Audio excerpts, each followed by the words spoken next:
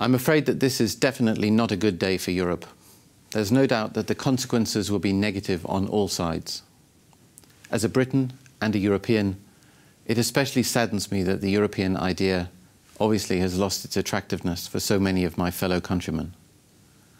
That's a clear signal to the EU to get closer to its people and to strengthen democracy. As a bank headquartered in Germany and with a strong hub in the UK, we're well prepared to mitigate the consequences.